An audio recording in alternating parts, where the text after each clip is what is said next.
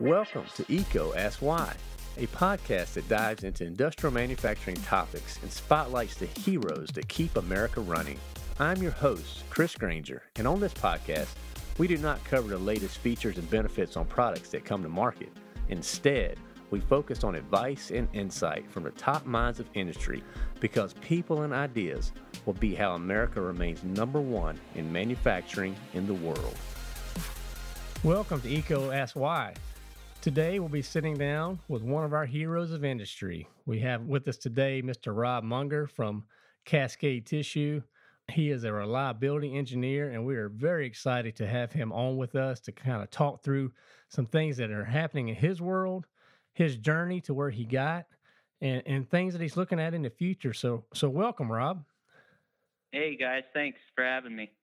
Absolutely. Looking forward to this conversation. So maybe to get us started for our listeners, you know, and a lot of our listeners, Robb, are, are people like you. The, we call them our heroes. They're they're in the plants. They're working in manufacturing.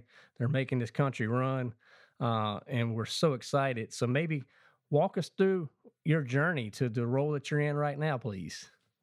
Okay. Yeah. So my journey is a little un- unconventional for this role. I served in the Army for 21 years, and when it was time for me to retire, I partnered with a veteran friendly career placement agency who found an opportunity where I was looking to settle down here in Fort Bragg, North Carolina area. You know, with that, I tailored my resume highlighting how I could bring value to the company based on the hard and soft skills I learned in life and in the service. I came down, I interviewed, I was picked up, started immediately after moving to North Carolina. And then I've been here for about 18 months, and we'll say that it's exactly what I needed. Oddly enough, it was the military, I think, that set me up to be successful as a reliability engineer in manufacturing. Really? So, I mean, first of all, thank you for your service in the military. I mean, my pleasure. Thank you. Absolutely. So when you, when you say that the military set you up for this industry, what what makes you say that? Um, I think it, it just brought a lot of the. Um, it taught me a lot about networking, uh, communication, leadership, um, how to work uh, autonomous. It taught me about budgets and supply chains, and you know something that's uh, very important in manufacturing, the safety aspect. Very, very true. Very true. And safety is something we've done some episodes on EECO Ask Why where, I mean, we, we really dig deep into safety. We did a whole episode on lockout tagout, which I'm sure you guys use at the plant there as well. I mean, so let's oh, let, yeah. Uh, let's kind of talk a little bit more about industry and where things are going. You're you're relatively new in your role, but you you're seeing a lot of things happening. And just so everyone knows, we're actually recording this in the middle of COVID 19 and, you know, things are in our world are very different than they were, you know, a few months ago for sure. But for Robb, and we were talking about this before we started recording, you know, you guys make a, a, a pretty hot commodity right now with that toilet paper, man. yes, we do. Yes.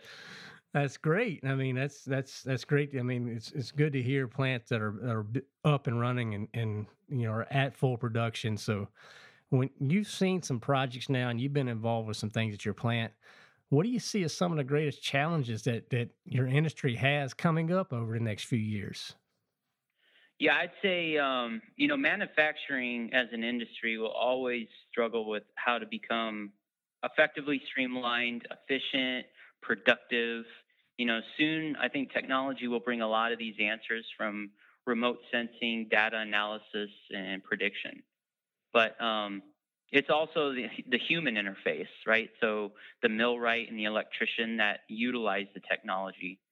So I guess my answer would be that we need to embrace the requirement for like enduring mechanical and electrical professions so we can keep the industry running to provide commodities like you brought up and essential goods. Right, right. Now, are you seeing, you know, I've, we brought this up several times in the past too, where the personnel, the people who know how to keep this stuff running, they're retiring. You know, they're they're they're moving on into different aspects of their careers. Are you have you seen that impact your industry at this point? Yeah, so that was something that um, you know I had experience with in the military. So you know, people are always coming going in the military. It's uh, you know, three years in at a duty station, and you're you're you got orders to go to the next one. So you're constantly um, as as a soldier, you're constantly dealing with learning the culture of different places, almost like if you were jumping job to job every three years. But when you when you do that, or if you're there and you know somebody that you rely on, a superior or a subordinate, they leave, there's a lot, there's a, um, a learning curve um, where, you know, you have to backfill with either a different soldier or like in this aspect, another employee. And, and when we have the headcount that we do with uh, mechanics and, and uh, electricians, you know, that skill set, when you lose it, they retire, you know, you got to bring somebody up to speed right on their tail. So yeah, and that can be challenging, no doubt. Just so having that good training program, or maybe an internship, or some type of mentoring. You know, maybe that could be a way. You know, I, I just think about for my career, I have you know I've had one mentor in particular, but I think we all need that too to help kind of guide us along that path. You know, of development. You know. Yeah, I think having um, a continuity program in place where you've got your standard operating procedures, you've got um, your center lines, you've got you know catalogs and of of uh, all the parts that you have uh, in the equipment in the storeroom. I think that's really pivotal. So that way, uh, when a new guy comes in or somebody gets bumped up to a higher position, you know, all they got to do is crack open the book and they can see where, what the answer is. I know it's you know it's it's easier said than done sometimes especially with the tempo of of the the company sometimes but uh, if you can if you can do that you set yourself up for success i think. Right. Now how do you guys use outside resources like distributors? I'm just curious is there a place in that world from you know process improvement and you know creating those procedures for outside help or is that all pretty much managed internally. Where, where do you see that going?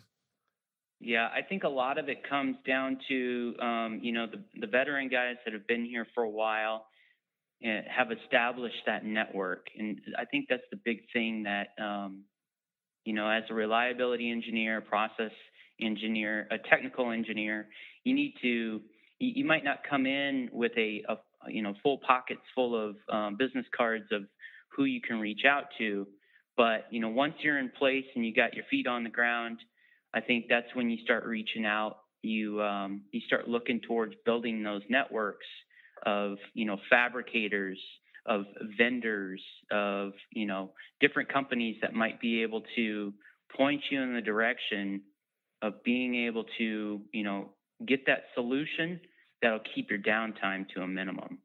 No doubt.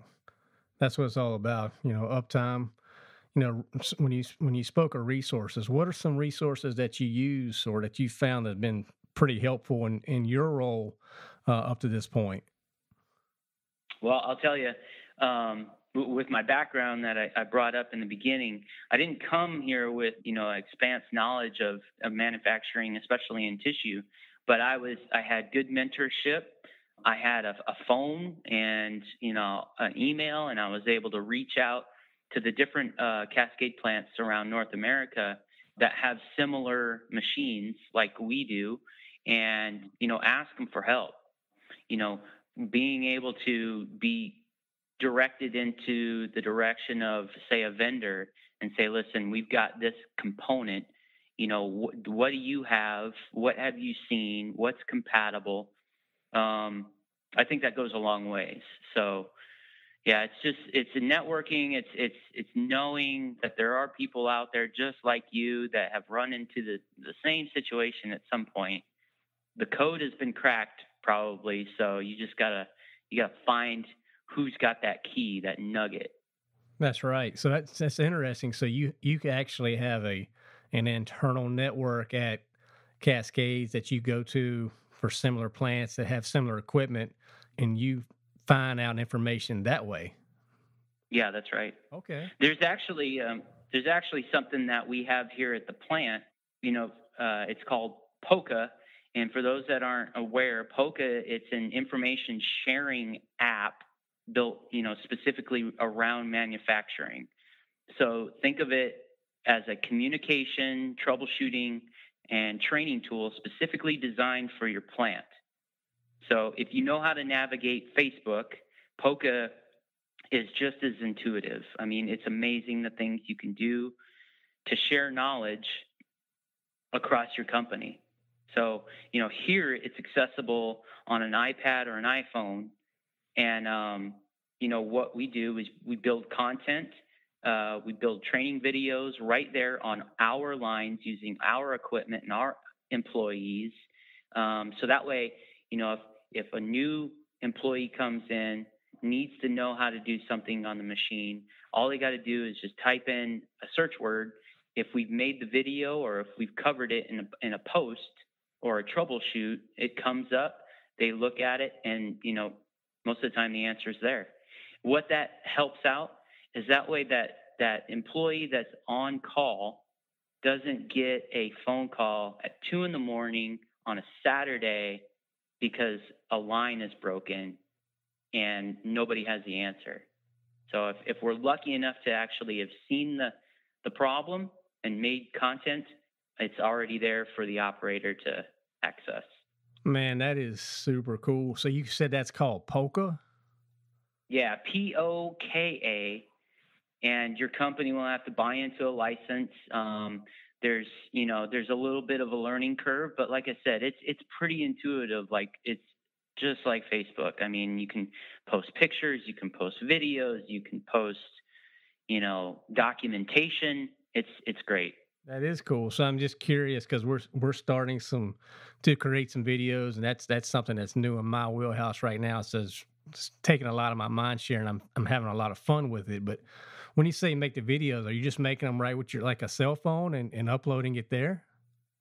Yeah, so you can use um, you know some different editing software. You you got to figure out what you want to use and, and have have that as your standard. And then when you start uh, videoing it, you can use different apps, or you can just use the regular you know video on your your iPhone or Android, and then you just upload that video to the Poka app. Maybe after you've done some editing or some voiceover, splashed in a couple of graphics or something, and um, yeah, it's it's a game changer. No doubt, man. I'm just and last thing on this topic, when you said there's there's different apps, what do you prefer to use with that video editing?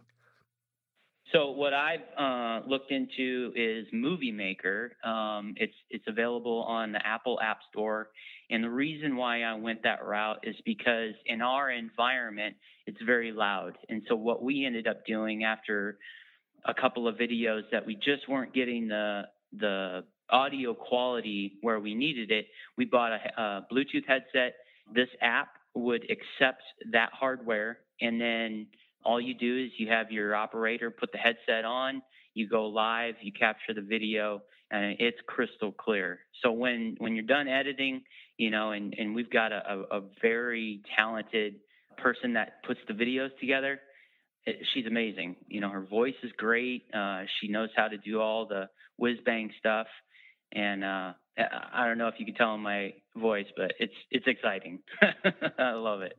I can tell, man. You got really pumped up about that, and that's great. I mean, and, that, and that's what we're yeah. trying to do with this podcast: is share ideas. You know that that people like you, man. If you if you're finding value, I guarantee you somebody's listening to this podcast will find value in it. So that yeah, was that, that was great, man. I mean, so man, let's let's kind of shift a little bit. Let's talk about some goals. I mean, everybody, you know, things are happening right now in our, in our country and our world. Obviously, it's not the same environment that we were living in, you know, last quarter by any means. But I'm sure some goals maybe have, have changed or shifted. You you said you guys are running wide open, which is wonderful to hear. What would be some of the goals for the year, and, and, and how have they changed, or how are you tracking to them? Just curious on on what's in front of you. Yeah, you know, it's interesting. I was just talking to the uh, the production manager about this this morning. You know, we are a 24/7 operation, and as far as goals at the plant, we are in the middle of an enormous expansion. It's an exciting time for the company, and I think as we finish setting up the last of the production lines and increase our headcount for our maintenance section, you know, my focus in the reliability realm is to get to know the the personalities of the new machines. I think every machine out on our floor, they've got their own personalities. Okay, so you know, I'm going to take a, a hard look to ensure the center lines are established and identify what the picture of reliability looks for each machine.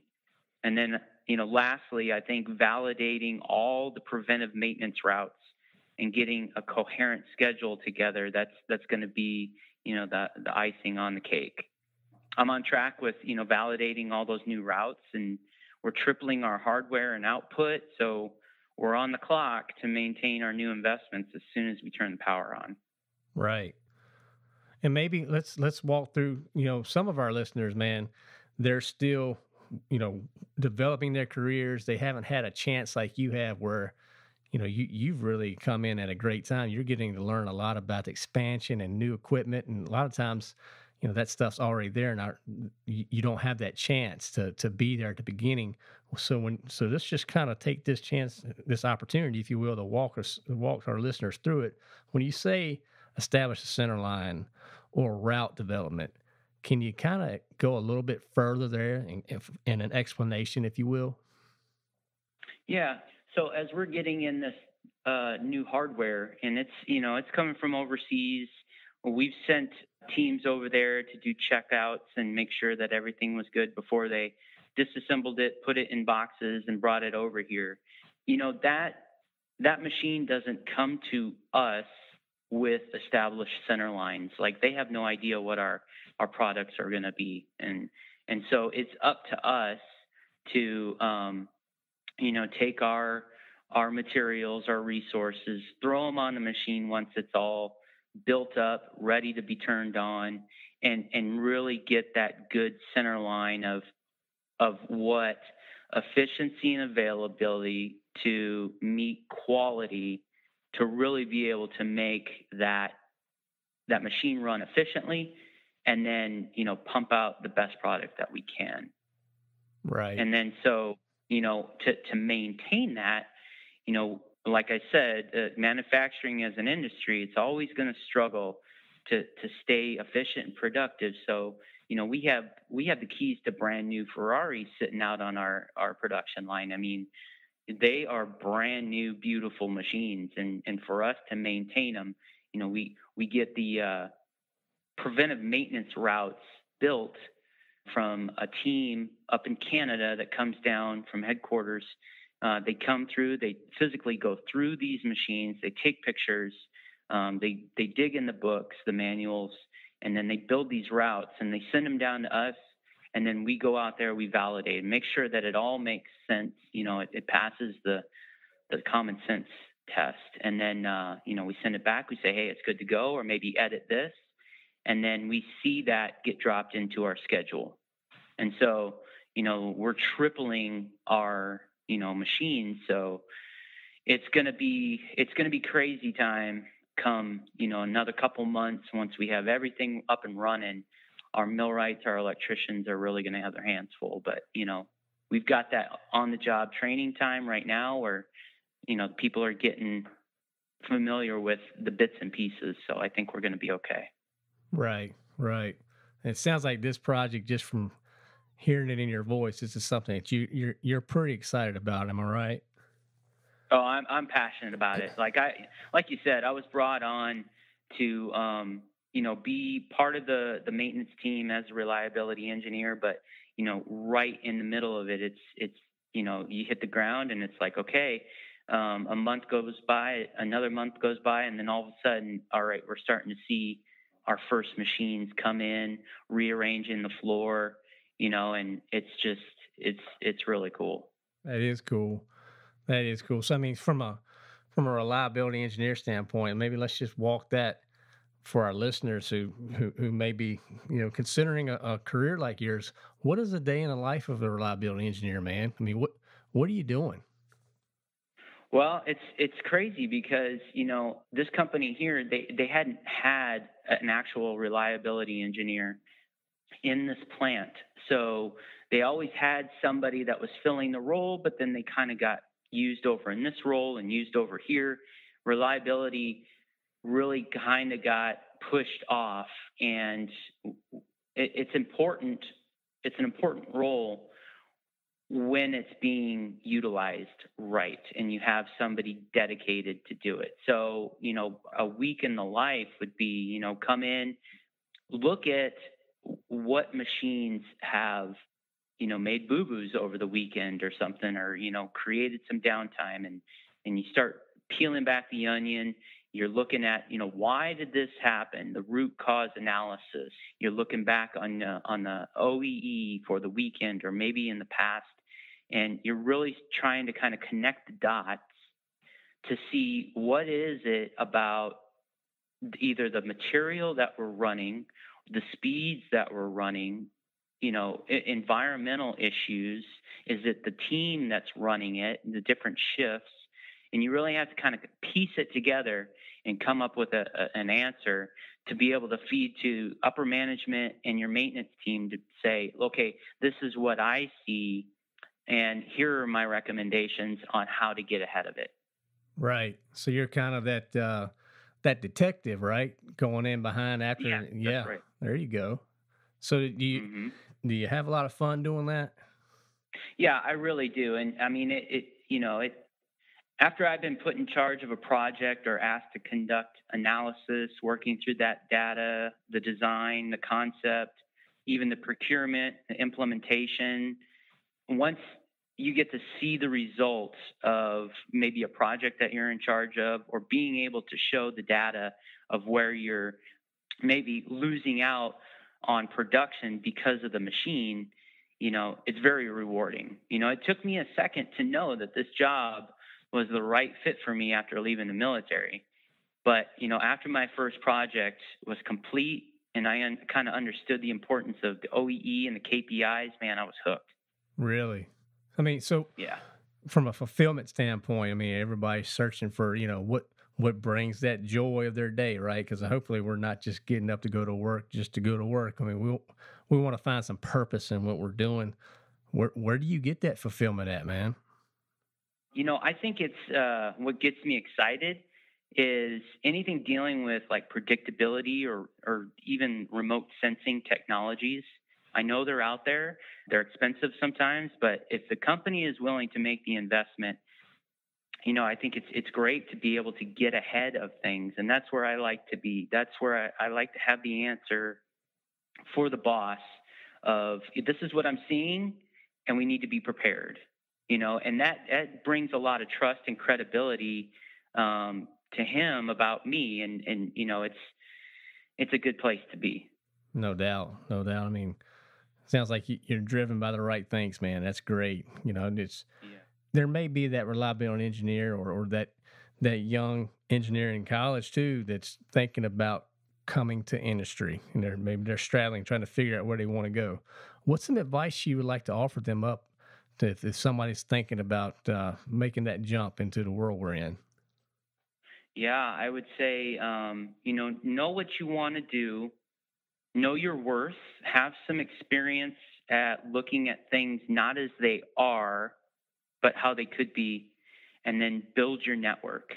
And you know, it's it, in my industry. I'd say it's it's great to be a reliability engineer right now in the in the time that we're in, because um, I'm considered essential personnel. So you know, try and try and look towards those avenues, those opportunities where you know, when things like this happen, we we we couldn't predict, you know, COVID, but it, for me, luckily, for me and my family, luckily, you know, essential personnel, we got to make the got to make the tissue. You got to make uh, everything, you know, to go along with that. So it's, I guess the advice would be um, just kind of know what you want to do, but also be very flexible. Right. Because you do have to be flexible in this job because things are going to break. You know, you, you got to have the patience and you got to have the the will and determination to get that thing fixed as soon as you can, get production back online. Right. Sounds like there's no that's got no two days the same either, right? Right. That's got to be a driving force. Is that you know you want to get things fixed now so that way you know the company is is seeing profits and they're seeing you know greater things. Yeah, absolutely. You know, and when people think of reliability engineers and and just engineers in general, there's preconceived notions that come to mind, right? And, and one question I love to always go to is if you if you could have a chance to, debunk one myth about reliability engineers, what would that be? Because you may have had a diff- certain preconceptions, you know, when you were in the military, you know, before you came to this, and and now that you've been in the role for a while, you know, what what what's out there that you that you like to take the chance and say, nah, this is not really the way it is. yeah, I would say um, I didn't know how I was going to be perceived when I came on board, but I would say that. Uh, you know, not all reliability process technical engineers are the same. You know, we do not all fit into the same one size fits all cookie cutter description. I think, you know, depending on the different industries, you'll see male and female, young and old, clean cut and or tatted up engineer folks. It's crazy. Like the saying goes, don't base a book on its cover. Different countries and industries bring different flavors, and I just I love to see a, a diverse group of like-minded, get the job done superstars out there. Man, that was awesome. That was that is what it's all about right here, man. I mean, that's and that's what this podcast is all about. You just summed it up right there. I mean, that's that's so great. I mean, and think about maybe something that's happened in your career that would be a, a highlight. If you want to look back, it could be from your military days or or or Cascades or any other role. Just curious on what would, what a highlight would be right now, and I'm sure you'll have many more to come in the future. But is there anything you'd like to share with our listeners? I'll, t- I'll tell you what. I've, I'm new to this game right now, so I would say that this is this right here is a huge honor and highlight. Just being asked to share my experiences on a podcast that'll be heard around the world to millions of followers, Chris. Well, man, that's that's awesome, man. I mean, I, I feel very honored that you would say that. I mean, we feel honored to have uh, you know someone like you be able to join us. So, so thank you so much. Um, yeah, thanks you for the opportunity. It's been it's it's so great.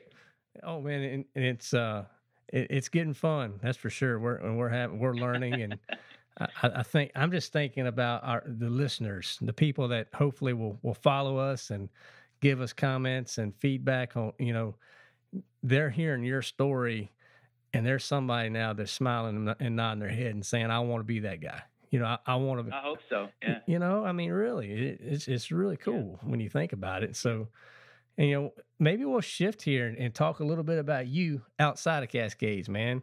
Um, maybe maybe give us a, a, little bit of idea of, of who Robb is uh, away from work. You got any hobbies that you like to share? Oh my God, yeah. So, you know, my life has been full of hobbies. I have a garage and a shed to prove it.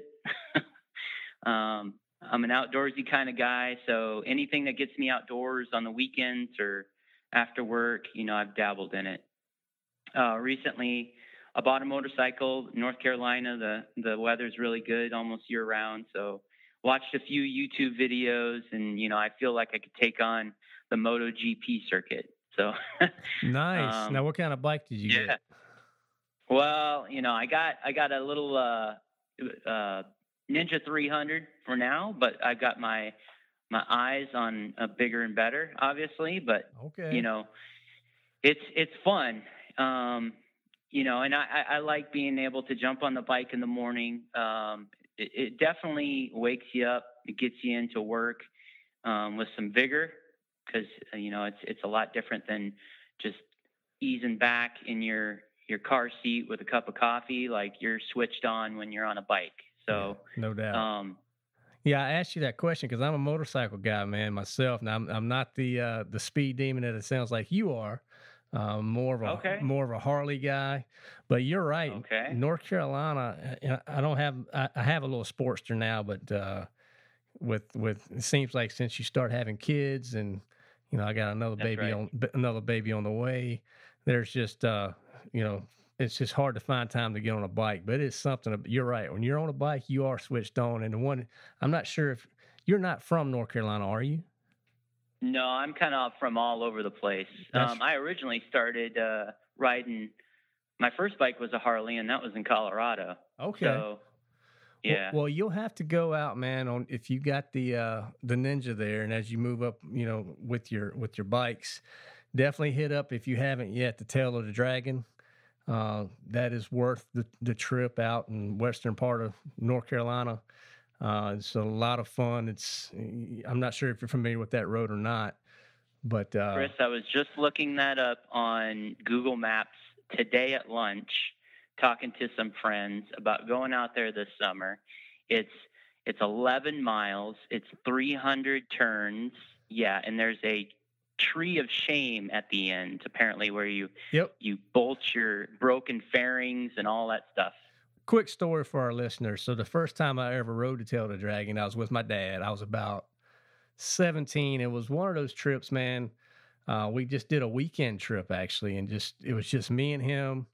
Uh, he had a, a Heritage Softail. I had a little Sportster, and we rode for two days straight. So anyway, we ended up at the Dragon, and we didn't know we at the at the very end there's a little motorcycle resort like a it's like a gas station but it's, it's for those who've been oh, there oh, yeah, yeah. you, you kind of know what i'm talking about. So we we get to this to this part of the ride and we get off the bikes like that was one crooked doggone road. So we go inside and we're like they're selling t-shirts and my me and my me and my dad were like uh what are these t-shirts for? And they're guys like you do realize you just rode one of the most famous roads in America, right? And we're like, what?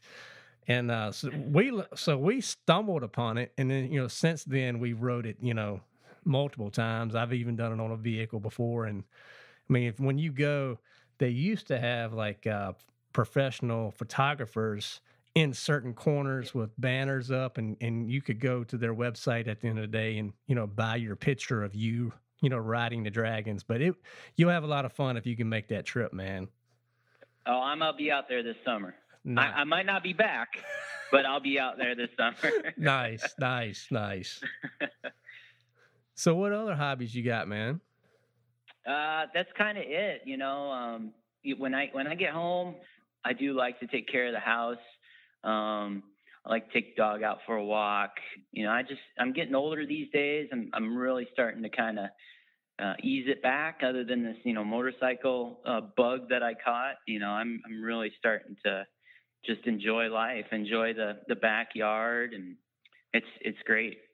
That's great, man. That's great. So maybe share with us some things that you're curious about right now. What's what's driving your curiosity? Which what are you studying? Things like that.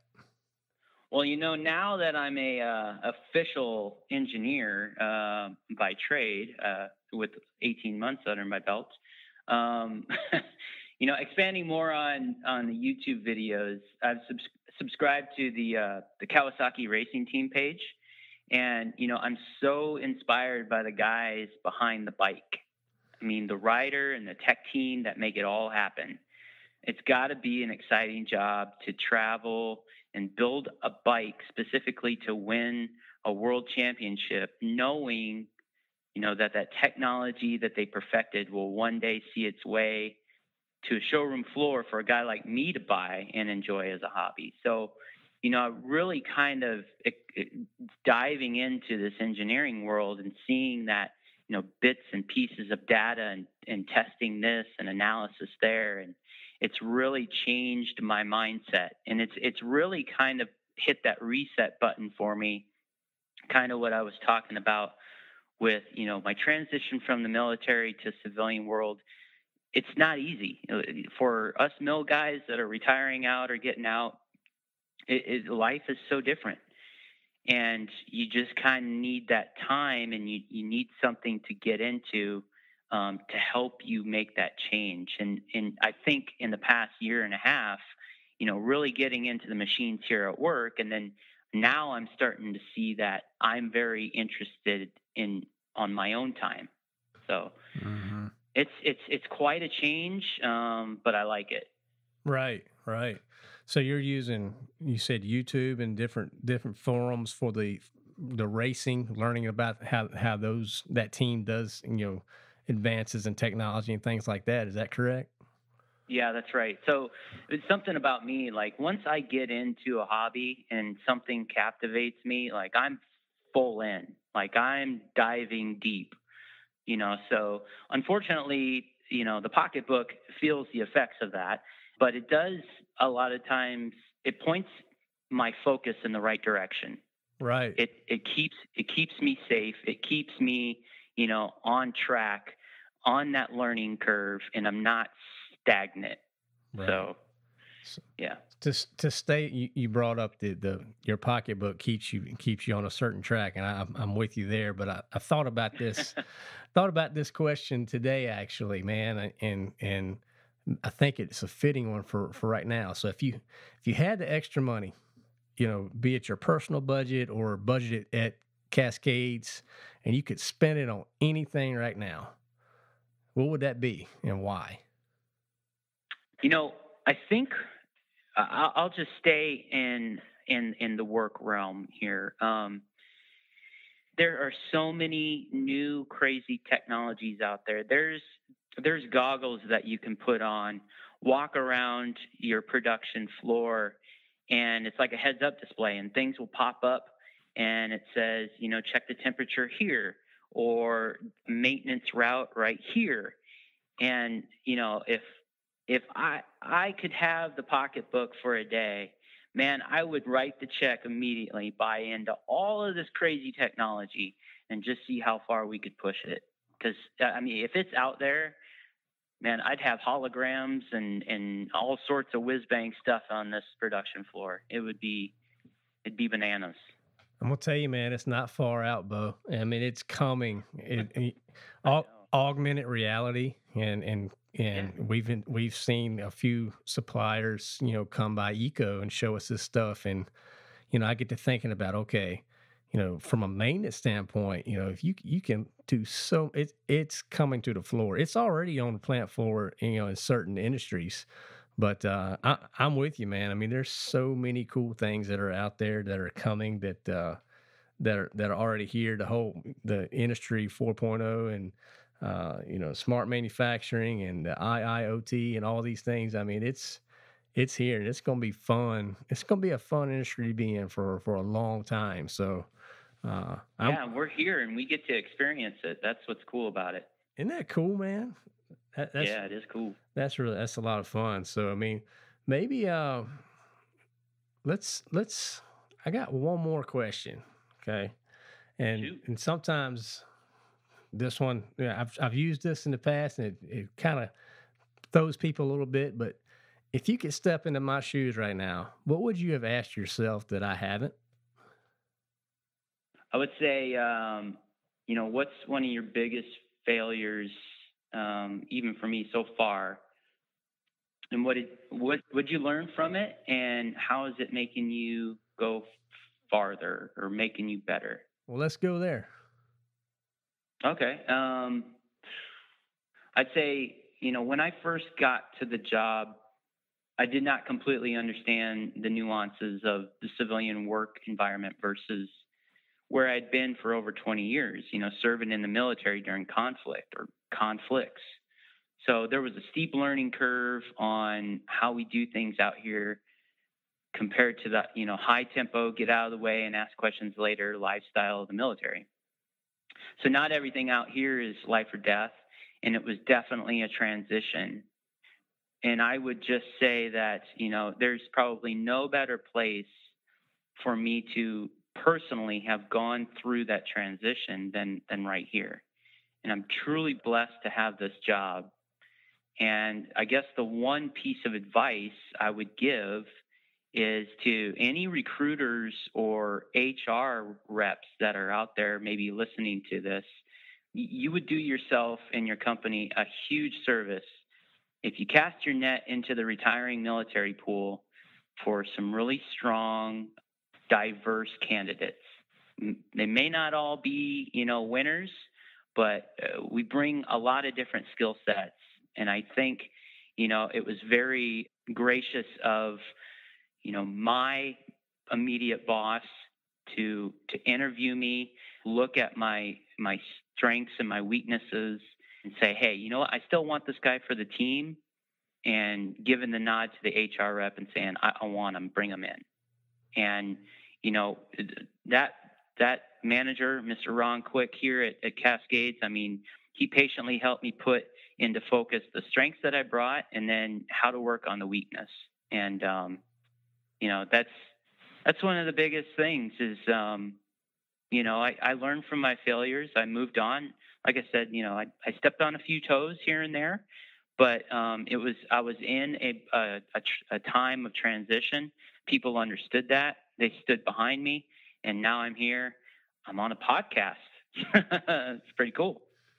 Absolutely, man. I mean, I'm so glad you said that too, because you know, EECO, I, we used to have a motor service division. I'll tell you from personal experience, some of the best, hands down, workers technicians, reliab- we even had reliability engineers that worked for that worked for us, and they would go out and do the a lot of the service work.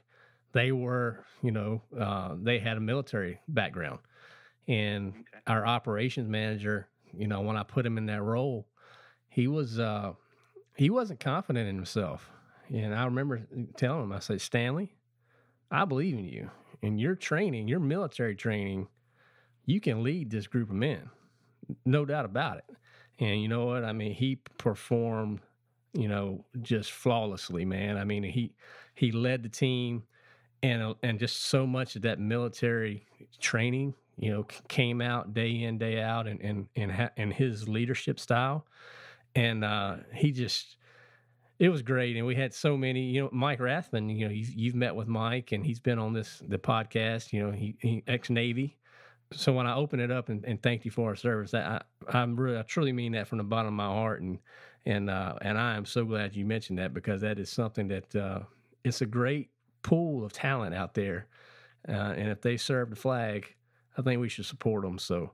So thank you for for, yes, for, for going there, Robb. And maybe let's wrap my up with, with, with one more question, if if if you got time. I'd like yeah, I've got it. I like to. Uh, we call it EECO Ask Why, and I like, like like to. We named it that for a reason. We really want to get to the why. I mean, of of because that gets to purpose and what drives people. So, so why do you enjoy the role you're in and the career path that you're on?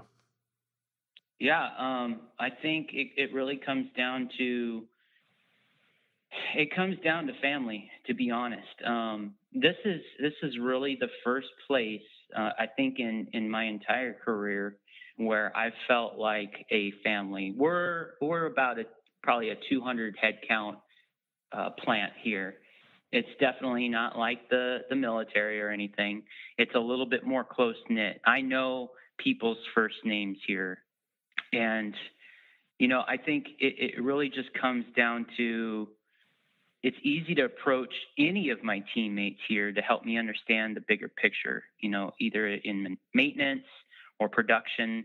Um, I can talk to the supervisors, finance, quality, the logistic managers, and really get the big picture. It helps me understand, you know, what I'm doing every day and why it's important. Right, right. Sounds like you got a great environment there, man, and, and sounds like just a great culture as well of that you yeah. that you're surrounded by. Yeah, it really is. That's wonderful.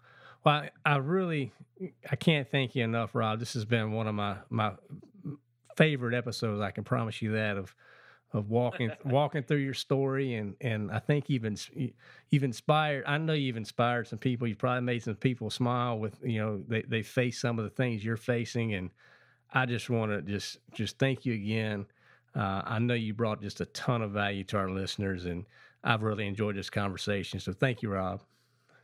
Well, that's great. Thanks, Chris. Thanks, Adam. You know, I just I want to say thank you for the opportunity today. Um, I'm honored to do this.